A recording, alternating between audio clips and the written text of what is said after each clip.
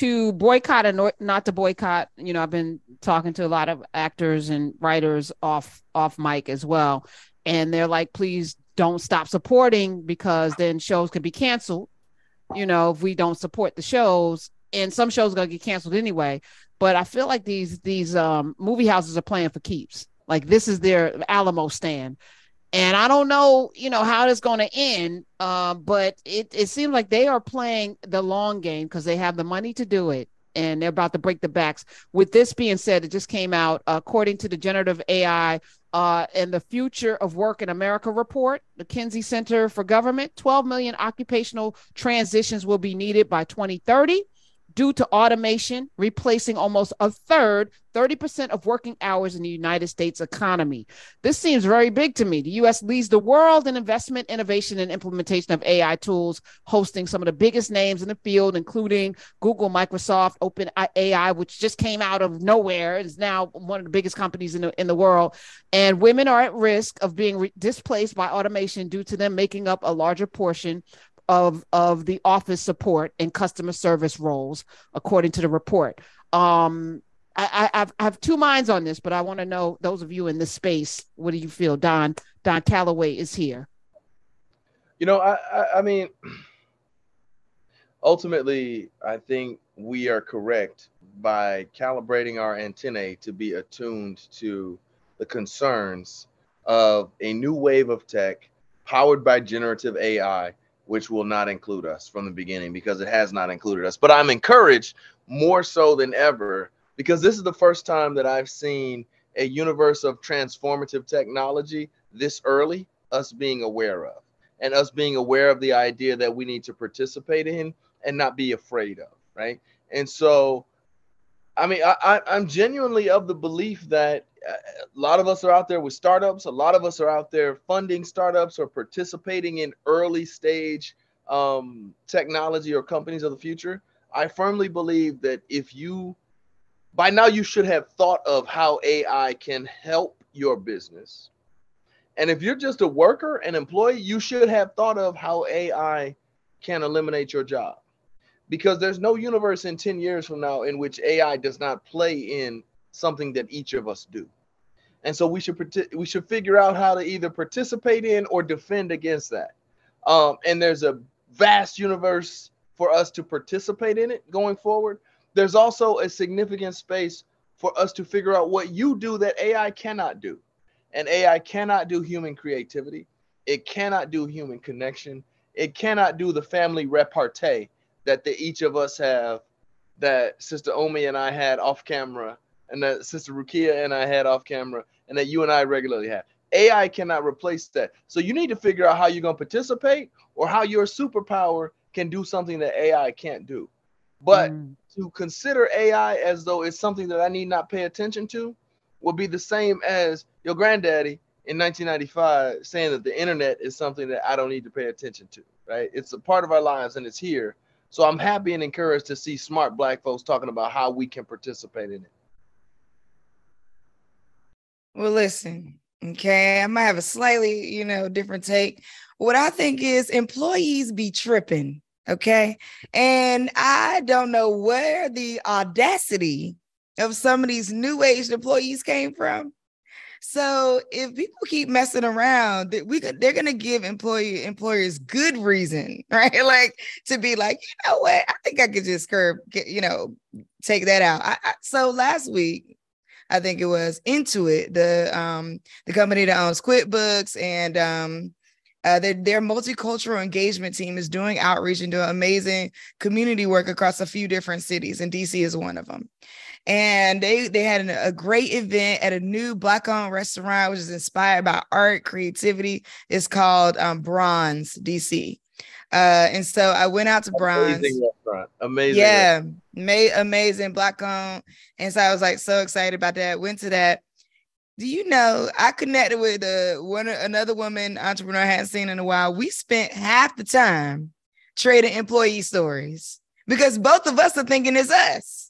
I'm thinking it must be me. I mustn't get these employees enough training. I must not be giving them enough documentation. My operations must not be sound enough. She's like, girl, I'm thinking the same thing. She's like, look, I met with a CEO group last week and people with all different levels of employees we're having the exact same com- conversation she said she told her employees "We're gonna come in the office one day a week you know what the person one of the people said to her oh lord one of the people said to her my building has a latte machine downstairs and i feel like my proximity to this latte machine is helping me be more productive at work and so I just feel like I shouldn't have to come into the office. I said, girl, please tell me he did not say that to you.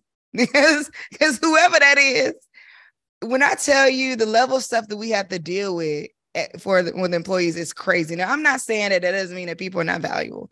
I am just saying that, you know, that quote that says like AI won't be the thing that takes things over. It'll be the people who don't want to use AI um, that will get, you know, booted out. Now, I don't know what the next realm of the workforce or the future work will look like when we do have to let go of some of these folks who don't have the best personality, don't have the best work ethic. I sat down and did two month, three months of blogs in two hours using a combination of Copy AI, Chat GPT, and Grammarly, and all in my voice you by by programming it. So when I think Wait, about so pause, pause, me, So right now you say you say you have 10 people working for you. What percentage of those jobs can be done by ai um at least oh gosh. Oh my team ain't listening. But i at least uh at least 10 percent. It's Okay, not it's I mean, not that's- overwhelmingly so. Like it's- Okay, it's all right. we, we're community builders. So to don's point you know but i think we don't i don't need ai to replace that part. I need the people who are able to adapt to using ai to replace what we can replace. That's where my focus is. So if you are hesitant to growth if you are Gotcha. hesitant to be professionally developed then you are likely on a chopping block. Got it. And i think that's fair right? Because if we are a capitalist society and supply and demand is the rule of law then you know the gig economy put people in a position where they didn't have to they could stay home and drink their lattes and and companies were at the mercy right? But the the game is shifting now.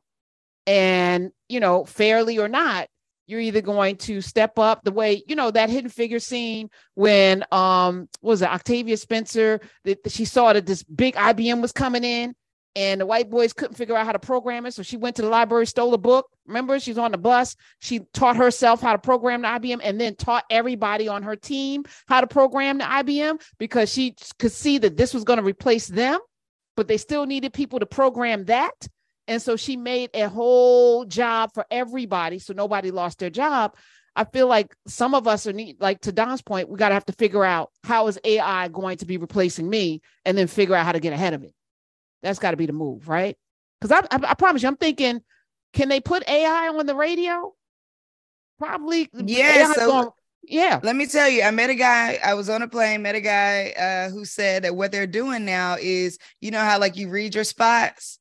Well, what they're doing so that people don't have to do the spots over and over, they are actually like AI programming people's voice, using their voice to read the spot once. So you don't have to do the spot over and over. And I'm like, oh my God, well, if you didn't have any interaction, let's say you was just doing your hot topics or something, you actually could program that, which is interesting. Like, I'm not saying anybody should, I'm just saying that like that is interesting to think about. Are there shows out there where we think it's the person, person's voice is programmed, and all they're doing is like news reporting? They could potentially write that, you know, like write it all out and actually have AI go and do that for them, which is really interesting. I mean, they, they're reading from a teleprompter anyway. A lot of these newscasters, right? I mean, do they have to know eh, how to do? I've I've always said those people reading from the teleprompter aren't journalists, but they, you know, you can get a beautiful AI if, if that's the case. Yeah. You know, I, I actually think at this point, in the interest of efficiency, it's not terrible to consult with AI or get AI assistance. It is terrible to submit AI generated work product without having reviewed it and gone through it with a fine tuned comb and nuanced it. Because every sentence we write, there's a whole lot of filler, right? That doesn't take any creativity or doesn't take any nuance or doesn't take any specific knowledge. But if we think about how do we create that and wh- how do we create that while combining it with your specific expertise, therein lies the sweet spot. Yeah, look, I've used Chat GPT and I've used Bard, and they've been extraordinarily helpful, but they're also extraordinarily flawed. So we need to be using them to capture back some of our time while mixing them with our own integrated expertise and, and human thought processes. What, what I'm trying to help y'all understand though is today's employees are they like the mindset that y'all are explaining that is like, yes, I think all that's fair, but they are not thinking that way. You got people who are like, you know, well, that's not within my wheelhouse. That was in your job description, Slim. And that's what you said you could do. Like, there's something, I, I don't know, there should be a study somewhere on how the quarantine and the pandemic really affected the personality of today's employee. It is not the same. The things where like you've been in the workplace for a long time, you just kind of automatically know, like, I would never do that in front of my CEO. I would never show up that way to a meeting. I wouldn't even think to say, and I'm not some of that's rooted in fear and toxicity. So I'm not saying that all of that's great, but some of it is just plain etiquette. That's like, come on now. Seriously, it's it's wild out here. I'm telling you. It's wild. Huh. I uh, eight six six eight zero one eight two five five. I'm thinking here. I'm thinking a couple of things. First of all, um, I remember the dot com bubble and how much it costs to produce a website, and now websites are free.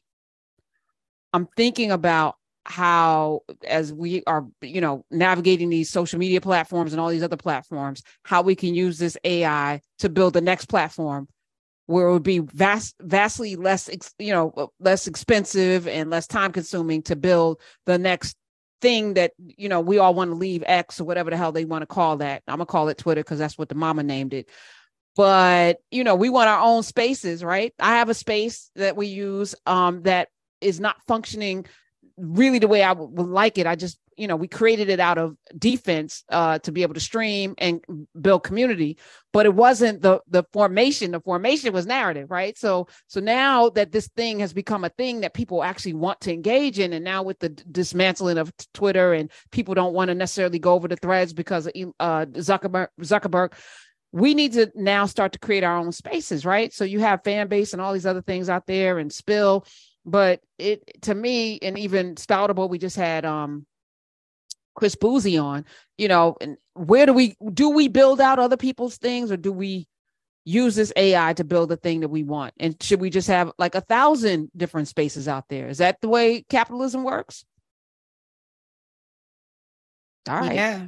You know, I Yes. think I think it's, I think it's Yes. survival of the fittest, and whoever is able to build a sticky and sustainable community out of the people you're looking to communicate with, then so be it, right? And I honestly think that the, as opposed to Facebook when it was the first of its kind, or Twitter when it was the first of its kind, now we're in a deregulated universe where there's a lots of different entrants into a space and I think, you know, more power to those who are able to build a community who is going to stay in a space and that's sustainable in space. Even more power to those who are able to build the software platforms that all those communities ride on, regardless of what it's wrapped in, right? And that's why I want to see more Black founders and more Black tech participants building the platforms and not the product. I agree. That I agree with. That's what I want. I want to see that happen.